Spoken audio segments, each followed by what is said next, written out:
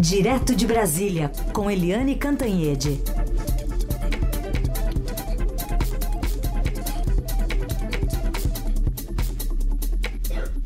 Oi, Eliane, bom dia. Bom dia, Raíssa e Carolina, ouvintes. Bom dia, Eliane. Vamos começar falando então sobre a senadora Simone Tebet, terceira colocada no primeiro turno da eleição, que ontem é, apoiou o ex-presidente Lula para a segunda rodada de votação, sem é, dizer, né, aliás, sem poupar críticas em relação à não elucidação de pontos, né, de propostas que devem ser apresentadas agora no segundo turno pela campanha petista. Vamos ver. Não anularei meu voto não votarei em branco.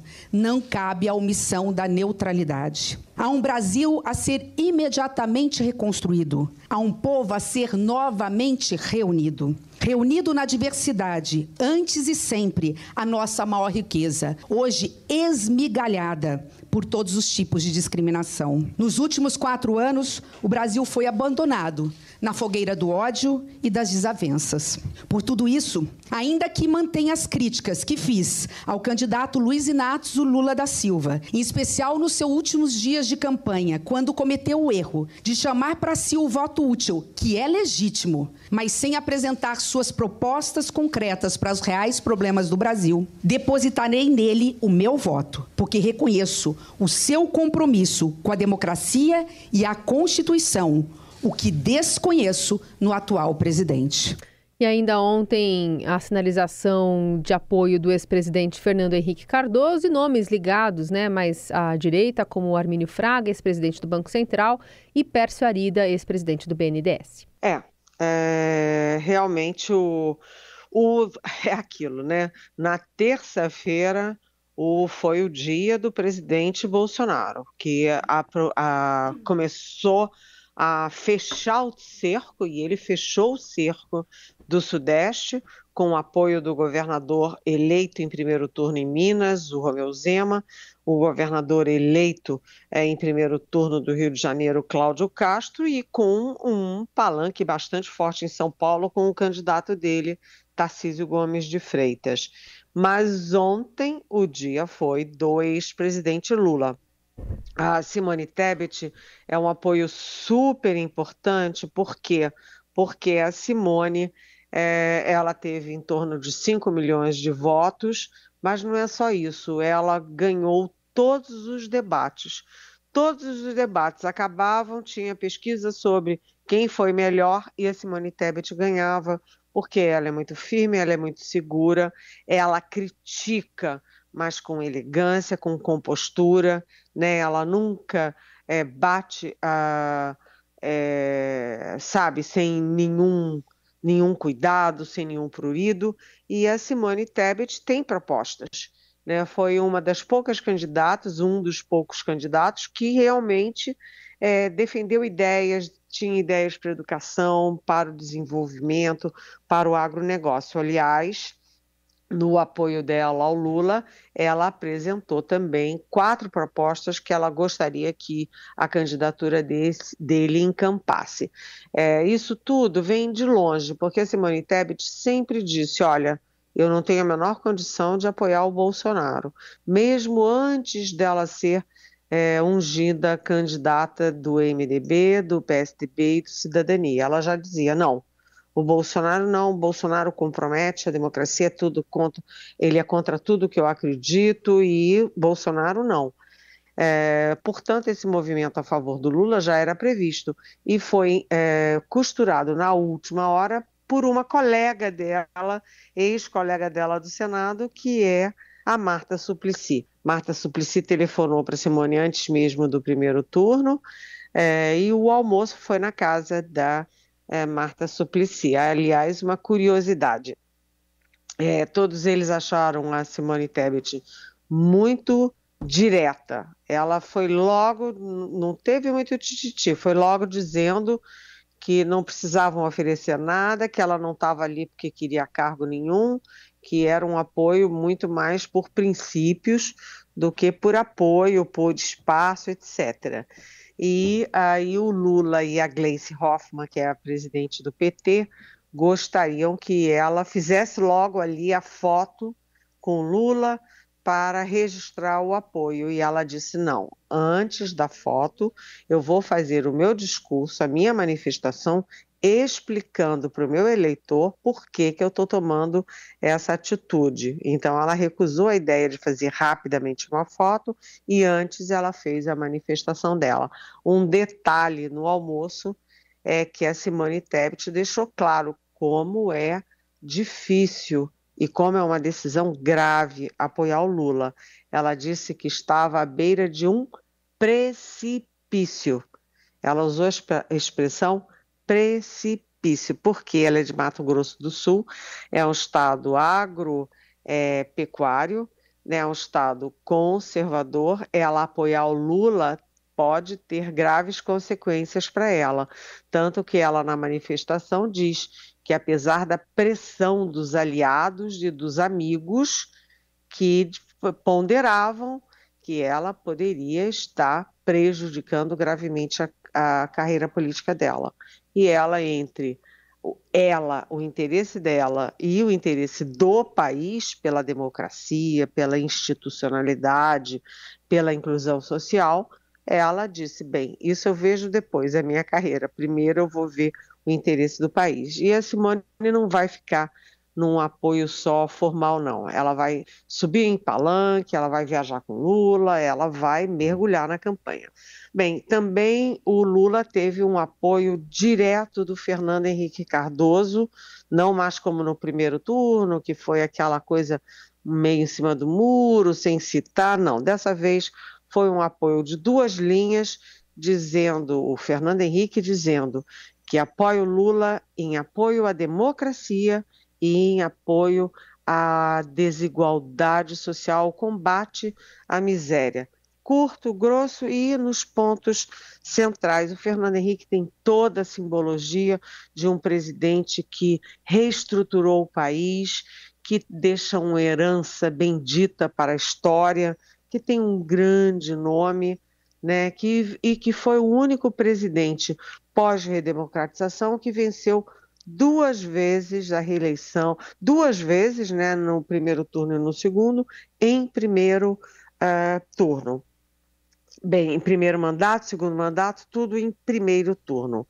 É, o Pércio Arida também foi um grande apoio porque o Pércio Arida é um, um dos pais do Real, né? Ele, o André Lara Rezende, é, ele dá é, segurança, aval de que o Lula não vai fazer nenhuma estrepolia, estrepolia na, na economia, que o Lula vai fazer uma economia liberal, segura, pragmática, né? E é um apoio de quem não é naturalmente do PT.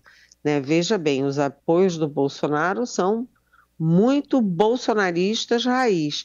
Os apoios do Lula são acréscimos ao que ele já tem na esquerda. E, para completar, o, o Lula também conseguiu um apoio importantíssimo, que é do Helder Barbalho. Helder Barbalho é o governador reeleito em primeiro turno no Pará e ele simplesmente é o campeão de votos para o governo estadual no primeiro turno. Ele teve mais de 70% dos votos. E o Helder Barbalho é do MDB.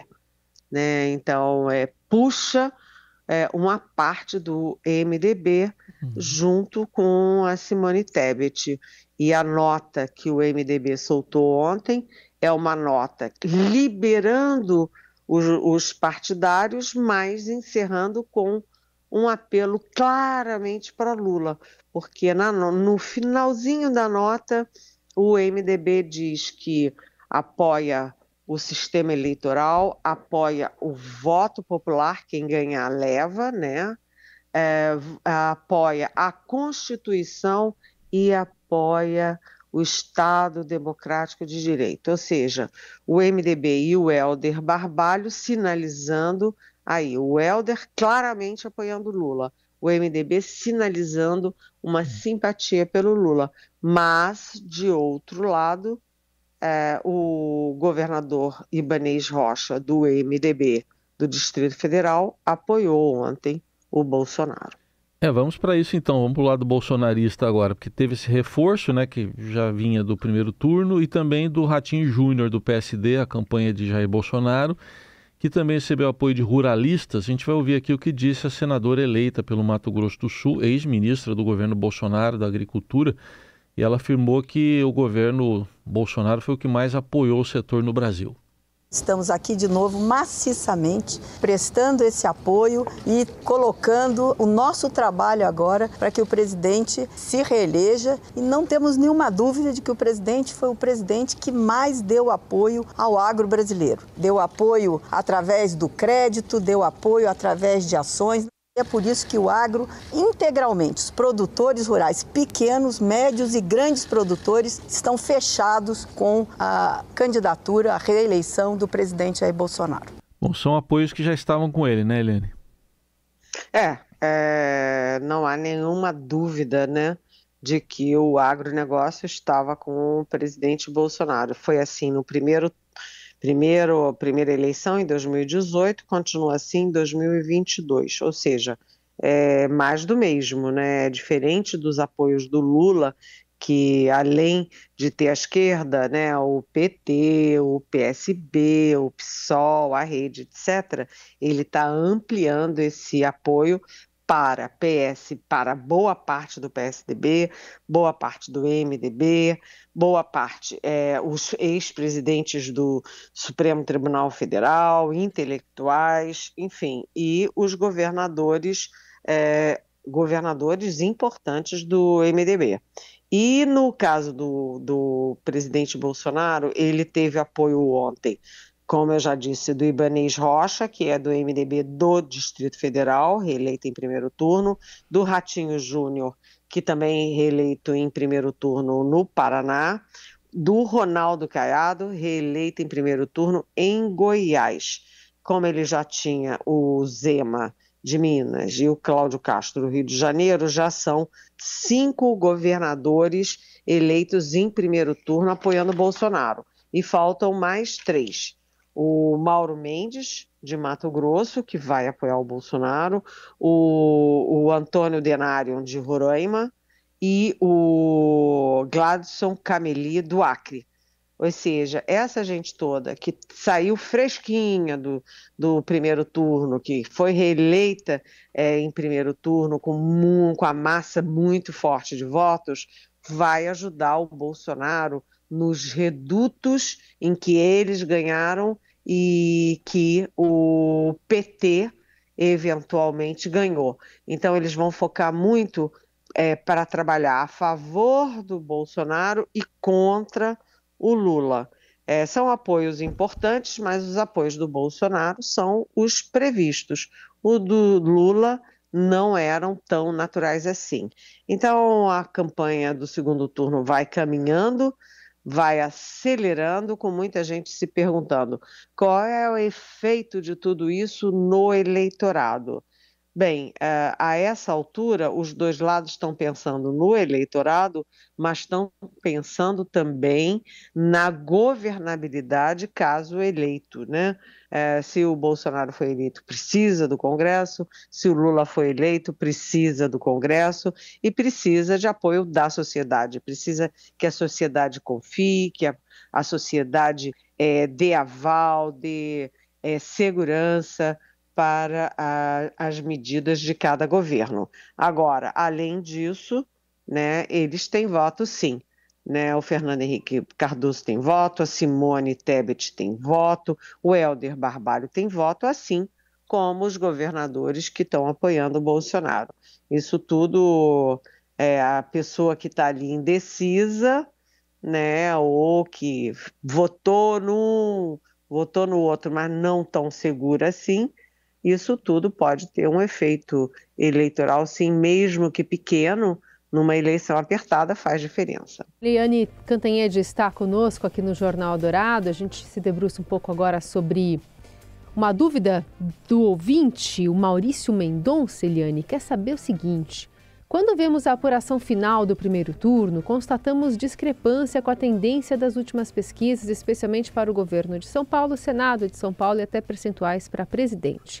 Terá sido voto envergonhado ou um novo fenômeno da direita aumentando rapidamente?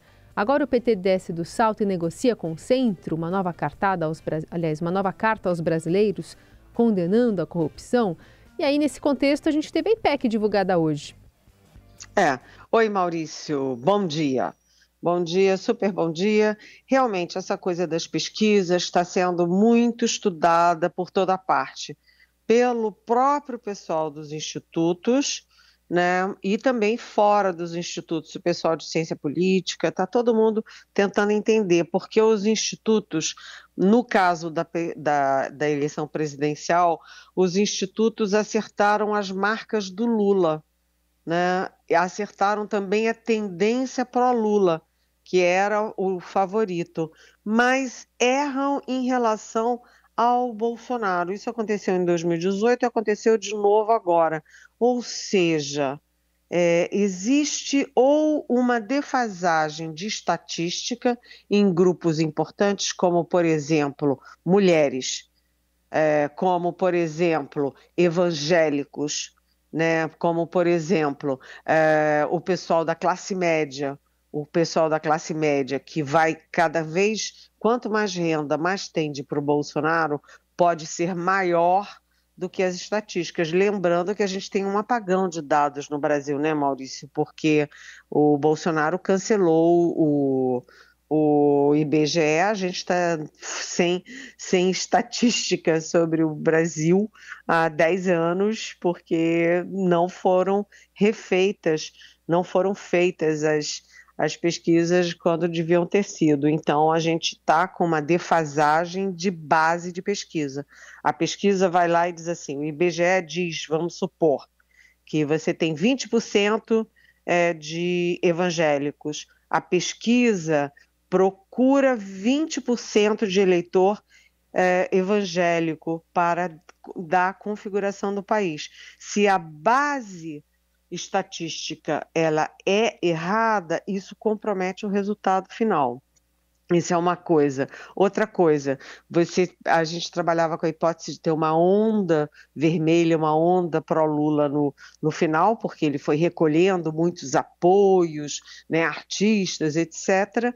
Mas o que se viu foi uma onda pró-Bolsonaro. Tanto que último, as últimas pesquisas IPEC e Datafolha, particularmente o Datafolha, captou que o Bolsonaro tinha crescido cinco pontos é, e o Lula tinha caído um entre as mulheres, que era um eleitorado muito solidamente pró-Lula, ou seja, na reta final deu uma sacudida na intenção de votos do Bolsonaro.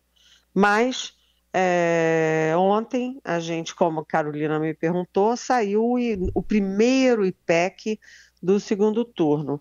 E o IPEC do segundo turno é favorável ao uh, presidente, ex-presidente Lula, né? Porque nos votos válidos, por exemplo, o Lula ficou com 55% e o Bolsonaro 45%.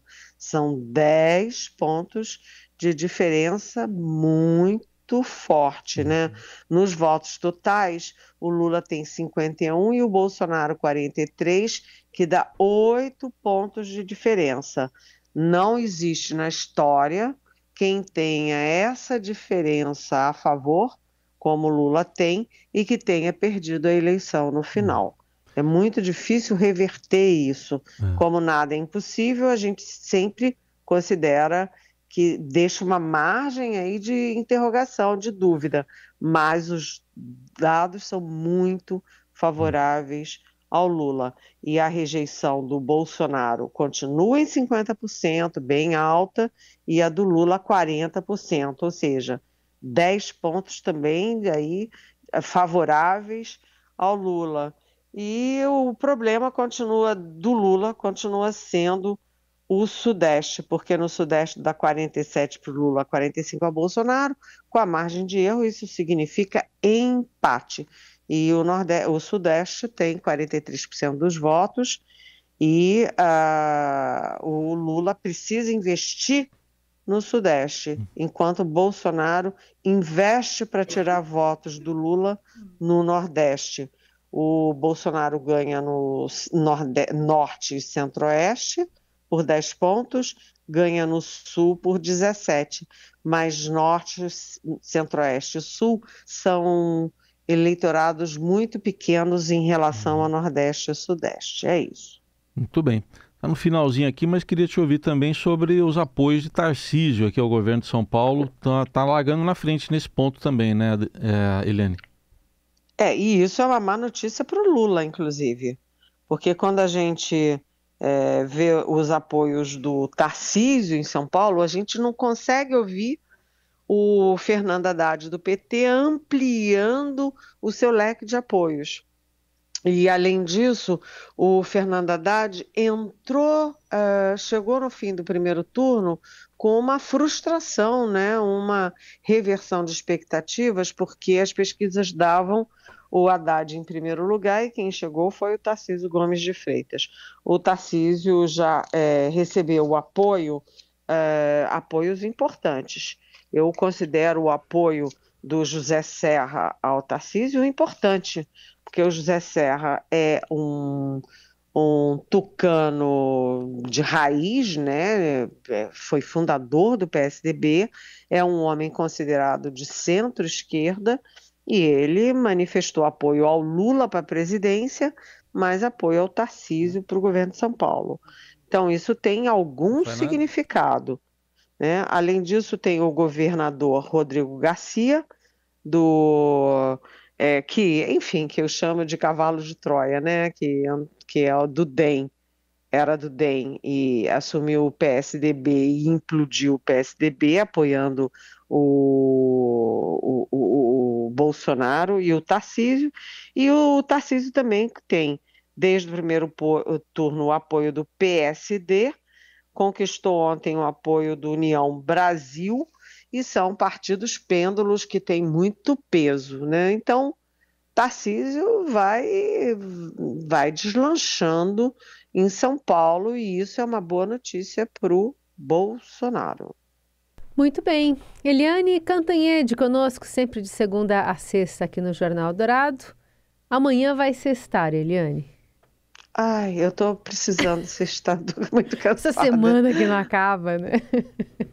Nossa, eu trabalho todo dia até meia-noite, venho para o hotel, chego aqui meia-noite e meia, acordo às oito, eu tô muito, muito cansada. Mas vamos sobrevivendo. Beijos. Vamos, um beijo.